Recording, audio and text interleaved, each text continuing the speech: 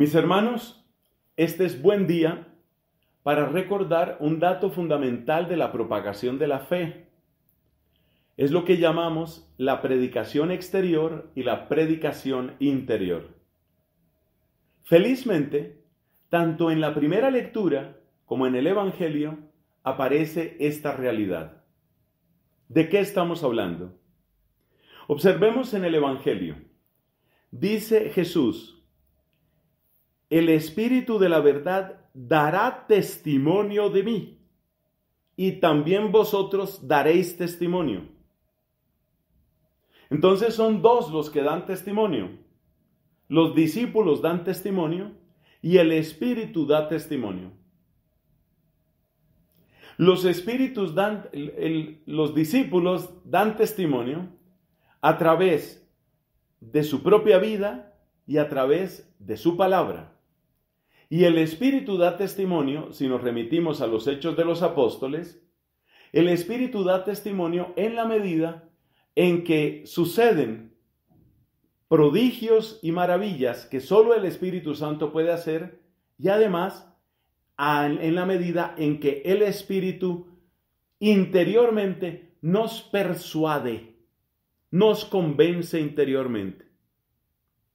Entonces son dos las obras de los discípulos y son dos las obras del Espíritu.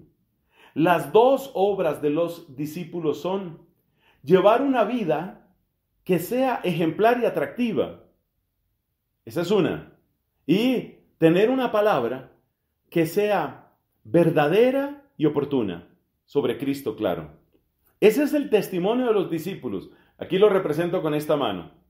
Y con esta mano represento el testimonio del Espíritu, que consiste también en dos cosas. Primero, en que hay obras y prodigios que realiza el Espíritu. Eso lo vimos en el caso de Felipe, eso lo vimos en el caso de Pablo, eso lo vimos en el caso de Pedro. Es decir, obras maravillosas que realiza el Espíritu. Esa es una parte. Pero la otra parte, que es todavía más importante, es la convicción interior, el susurro interior, la voz interior. Por eso muchos benditos autores, muchos santos de nuestra iglesia nos han hablado del Espíritu Santo como maestro interior, maestro que nos enseña interiormente. ¿Ya te lo aprendiste? Dos son los testimonios de los discípulos Dos son los testimonios del Espíritu. Los dos testimonios de los discípulos son una vida ejemplar y atractiva y unas palabras verdaderas y oportunas. Los dos testimonios del Espíritu son obras prodigiosas, benditas, que hablan de la presencia de Dios y persuasión interior. Si nosotros vamos a la primera lectura de hoy tomada de los Hechos de los Apóstoles, vemos en acción esto que acabamos de decir. Observemos cómo Lucas, de una manera narrativa, nos sitúa en una escena acontecida en la hermosa población de Filipos. Esto es en Macedonia. Hoy ese lugar se llama Macedonia del Norte, es el, nombre oficial que tiene ese país, porque hay una región del país Grecia que se llama Macedonia. Entonces ya ves que es un poco complicada y han tenido ahí sus tensiones. Pero el hecho es que aquí estamos hablando de lo que hoy se llama Macedonia del Norte y que tiene una ciudad llamada Filipos. Filipos es el nombre precisamente de uno de los reyes más famosos de la región de Macedonia. Ese rey se llamaba así, Filipos, pero es más conocido por su hijo, conocido como Alejandro el Grande, Alejandro Magno. Entonces, en la ciudad de Filipos llegan Pablo y sus compañeros, entre los cuales estaba el mismo Lucas, por lo que oímos en el texto de hoy, que todo el tiempo habla en primera persona plural. Zarpamos de Troas rumbo a Samotracia, salimos para Neápolis, nos detuvimos unos días, salimos de la ciudad. Se ve que Lucas estaba ahí. Pero lo que quiero destacar es la manera como Lucas describe la llegada del Evangelio a la ciudad de Filipos. ¿Cuál fue la conexión? La conexión se dio a través de una mujer, Dios la bendiga, de nombre Lidia. Esta mujer, que era vendedora de púrpura, una sustancia sumamente apreciada en la antigüedad y sumamente costosa, esta mujer, Lidia, entra en conversación con Pablo y volvamos a escuchar una partecita de la primera lectura de hoy. Dice aquí, trabamos conversación con las mujeres que habían acudido. Una de ellas, que se llamaba Lidia, natural de Tiatira, vendedora de púrpura, que adoraba al Dios verdadero, ya vamos a explicar esa frase, estaba escuchando. ¿A quién escuchaba? Pues a ellos, principalmente a Pablo. Estaba oyendo a los discípulos. Y fíjate lo que sigue. Estaba escuchando. El Señor le abrió el corazón para que aceptara lo que decía Pablo. ¿Sí ves? Como hay una parte exterior, que es la conversación que tienen todos, especialmente Pablo, y hay una parte interior, que es la acción del Espíritu, descrita aquí por medio de estas palabras. El Señor le abrió el corazón para que aceptara lo que decía Pablo. Entonces, hay testimonio exterior, que en ese caso es la manera correcta, ejemplar, humilde, como llegan los discípulos, entre ellos Pablo. Y testimonio exterior, ¿qué más es? El lenguaje cierto, verdadero, oportuno de Pablo. Esa es la parte exterior. Pero esa parte exterior nada logra sin la parte interior. ¿Y la parte interior cuál es? El Señor le abrió el corazón a Lidia para que aceptara lo que decía Pablo. Y quedó tan convencida esta mujer que dijo, aquí hay que bautizarse. Se ve que era una mujer que tenía su temperamento fuerte, parece que pesaba bastante, su palabra en su casa y se bautizó ella con toda su familia. Yo me puedo imaginar a Lidia como algunas damas y señoras que yo he conocido. Bueno, aquí todos a bautizarse. Llegó, llegó el Mesías a nuestra vida. A ver, tú también a bautizarte tú. Mamá, no quiero. No, pero espérate, oye lo que está diciendo Pablo. Hijo, que te conviene, hombre, que te conviene. Vamos, a bautizarse, a bautizarse todos. Y se bautizaron todos. Vamos a hacer aquí un pequeño paréntesis porque resulta que este acontecimiento fue la fundación de la primera comunidad cristiana que Pablo hizo en el nombre de Cristo, en lo que hoy es Europa. Así llegó el Evangelio a Europa, por lo menos a través de Pablo. Porque sabemos que el Evangelio llegó a Europa por distintos caminos. Hay semillas del Evangelio que llegan a través del apóstol Santiago desde los primeros años, allá en España. Hay origen también de una comunidad cristiana en Roma que no tenemos claro de dónde salió. Y tenemos esta otra comunidad que es la llegada del Evangelio a través de Pablo. Entonces aprendamos un par de cosas y luego volvemos a nuestro tema principal, que es el del testimonio exterior y el testimonio interior. Hay tres cosillas que quiero destacar de cómo empieza esta comunidad cristiana. Primera, no se nos olvide que esta es la comunidad que nace en Filipos. ¿Te suena de algo esa palabra Filipos, esa palabra está indicando el origen de la comunidad de los filipenses. ¿Has visto que en la Biblia está carta del apóstol San Pablo a los filipenses? Bueno, esa comunidad fue la que surgió de esta conversación. Segundo, interesante darnos cuenta el papel que tiene la mujer. Interesantísimo. En unas de lecturas que tuvimos hace unos días, tal vez fue la semana pasada o incluso antes, se hablaba de mujeres distinguidas que hicieron echar a Pablo de las poblaciones de Listra, Derbe y Conio. Donde más maltrataron a Pablo fue en la ciudad de Listra. Y ahí tuvieron que ver mujeres, mujeres que se consideraban de alta clase social, muchas de ellas judías de nacimiento, y que no entendían ese desorden de Pablo. Quiten a ese tipo de en medio. Poder de la mujer. La mujer tiene grandísimo poder y aquí Lidia tiene tanto poder que fíjate cómo terminó el, pasaje de hoy. Y nos obligó a aceptar. O sea, no solo movió a persuasión, fíjate que no dije obligué, obligó, no solo movió con su persuasión para que se le bautizara a toda la familia, sino que lo obligó a los evangelizadores, Pablo y compañeros, ustedes se me quedan aquí en mi casa. No Lidia, que estamos viendo que se quedan aquí en la casa, dije. La mujer tiene su propio poder. Esto lo destaco porque vivimos en un mundo en el que siempre se quiere presentar a la mujer como débil y como víctima. Eso supuestamente para defenderla, pero en realidad es un insulto a la capacidad de la mujer. La mujer tiene grandísimas capacidades y mujeres como Lidia lo muestran, aunque por supuesto, reina entre todas y bendita entre todas es María Santísima, que incluso le sacó un milagro a Cristo antes de que fuera la hora según las palabras del mismo Cristo. Ese es el poder de la mujer. Entonces a mí no me vengan con historias de que todas las mujeres son víctimas.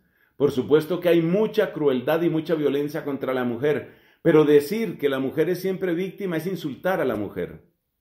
Y en tercer lugar, quiero destacar el hecho de que esta comunidad cristiana de Filipos nació en una casa. Por supuesto, ustedes se dan cuenta del paralelo que eso tiene con lo que estamos viviendo. En una casa en una casa. Entonces las casas, nuestras casas, nuestros hogares, son lugares donde nace sin cesar la iglesia. Está muy bien que el templo hay que buscar que se reabra lo antes posible. Amén. Y ustedes saben que hemos ofrecido varias misas exclusivamente con esa intención. Estamos todos de acuerdo. Sí, que se reabran los templos, que se restaure plenamente el culto público. Amén. De acuerdo todos. Sí. Pero, pero, no se nos olvide que la fuerza de la fe tiene que empezar en la casa. Es ahí donde tiene que empezar. Porque ya pueden estar abiertas todas las iglesias. Y no es verdad, o me van a contradecir ustedes, y no es verdad que en muchos países están abiertas las iglesias y solo llegan los pensionados, lo cual es bendito, claro. Llegan los de la tercera y cuarta edad, lo cual es bendito. Pero sería también bendito que llegaran otros. ¿Y dónde están los otros? ¿Por qué no llegan los otros? Entonces, ¿qué te quiero decir con eso? Que el primer lugar donde tiene que nacer la fe es en la casa. Es ahí donde tiene que nacer. Entonces son, eh, cerremos aquí el paréntesis que habíamos abierto. El paréntesis tenía tres puntos. Primero, que estos son los orígenes de la comunidad de Filipos, o sea, los filipenses. Segundo, que nos demos cuenta del poder de la mujer y que estar presentando a todas horas a las mujeres como víctimas en realidad es un desprecio, un insulto a la mujer. Y tercero, que la fe empieza en la casa. Y que si estamos en tiempos duros de pandemia, esto también nos invita a reflexionar si nuestras casas tienen con qué. Porque en la Biblia, el primer catequista en la Biblia siempre es el papá, siempre. Y es el papá el que da el ejemplo, un ejemplo sereno, amoroso, alegre de lo que significa creer. Eso no se puede perder. Eso Dios no lo ha cambiado. Bueno, cerramos ese paréntesis y volvemos a nuestro tema principal. El tema principal es que hay que dar testimonio exterior, pero ¿qué es el testimonio interior del Espíritu? El que completa la obra. ¿Ya hubiera podido Pablo pasarse días y días conversando con esas señoras? Y eso no necesariamente produce fruto. El fruto se produce cuando sucede lo que nos dijo el texto. ¿Y qué fue lo que sucedió? El Señor le abrió el corazón a Lidia para que aceptara lo que decía Pablo. O sea que de aquí tenemos que sacar una decisión práctica y con esa terminamos. Sí, métodos de evangelización. Vamos a utilizar las redes sociales Vamos a prepararnos en oratoria. Hay que hacer estudios, grados y posgrados de filosofía, teología, pastoral, educación, todo lo que tú quieras. Pero todo eso se quedará corto y será inútil, y será inútil si falta esto, este toque del Espíritu. ¿Y cómo se logra ese toque del Espíritu? Ese toque del Espíritu es del Espíritu, no es nuestro. Pero nosotros podemos pedirlo. Lo que es regalo podemos pedirlo. Es Cristo mismo el que nos anima. Cristo dice, ¿quién de entre vosotros si el Hijo le pide pan le dará una piedra? ¿O si le pide pescado le dará una serpiente? Si pues vosotros, que sois malos, sabéis dar cosas buenas a vuestros hijos, ¿cómo no dará el Padre Celestial el Espíritu Santo a los que se lo piden? Entonces tenemos que pedir esa gracia del Espíritu. Si notas a tus hijos muy rebeldes, no pienses que es simplemente obra de astucia humana, de inteligencia humana o de estrategia humana. Es necesario hacer una oración y esa oración tiene que ser, Señor, ábrele el corazón a mi hijo. Pero aquí voy a hacer una última anotación. Para que se abra el corazón, muchas veces tiene que producirse una herida. Me duele decirlo, pero es verdad. En otra predicación de esta misma serie, comentábamos precisamente, hablábamos precisamente sobre eso, sobre cómo Cristo en la cruz revienta nuestro corazón de arrepentimiento y de confusión. Cuando uno de verdad contempla a Cristo crucificado, uno siente el impacto Hemos dicho tantas veces, Cristo en la cruz es un misil de amor que impacta el corazón y lo rompe. Pero por esa brecha entra el Espíritu.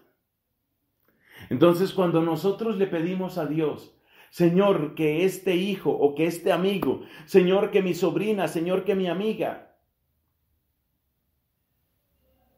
te reciba. Ten en cuenta una cosa.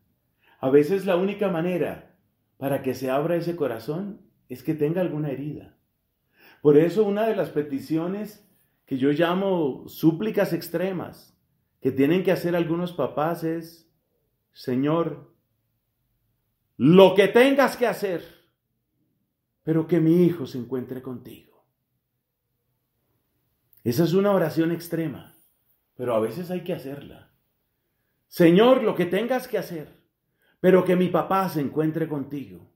Si no, no va a cambiar nunca.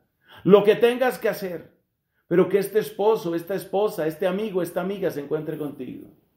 Y pedir al mismo tiempo don del Espíritu Santo para esa persona y para nosotros. Porque en la confluencia de ese testimonio exterior, que empieza por nuestro testimonio de vida y nuestras palabras verdaderas y oportunas, y luego el testimonio interior que da el Espíritu, ahí es donde suceden las conversiones. Y eso es lo que vamos a pedir en el nombre de Jesús. Amén.